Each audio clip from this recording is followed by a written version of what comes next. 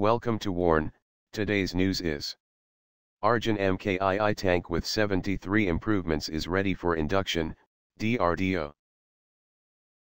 The Indian Army, IA, is locked in a standoff with the state-run Defense Research and Development Organization, DRDO, over its indigenously developed Arjun Mk2 main battle tank, MBT, variant.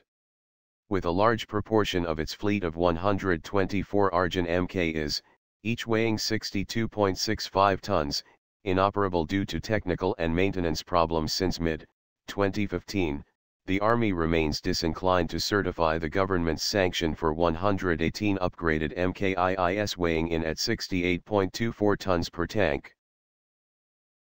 In August 2014, the Ministry of Defense, MOD, approved the INR 68 billion, 1 billion US dollars, induction of 118 MKIIs with 73 improvements, including 19 major ones, over the MKI, which the Army had recommended to the DRDO in 2011-12.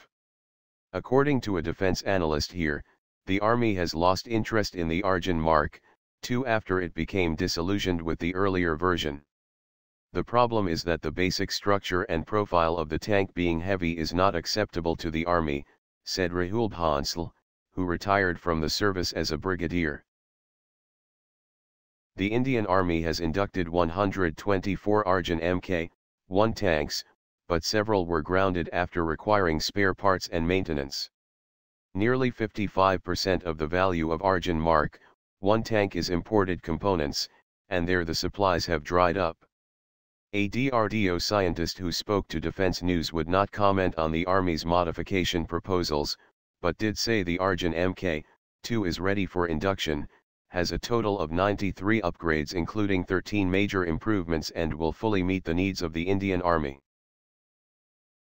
The major changes to the Arjun Mk, 2 include an upgrade of the missile firing capability against long-range targets, panoramic sight with night vision to effectively engage targets at night, containerized ammunition, enhanced main weapon penetration, additional ammunition types, explosive reactive armor, an advanced air defense gun to engage helicopters, a mine plow, an advanced land navigation system and a warning system that can fire smoke grenades to confuse laser guidance. Arjun Mark II, with a number of improvements over Arjun Mark I, is a third-generation tank comparable with others in range and confirmed acceptable after trial and evaluation by users.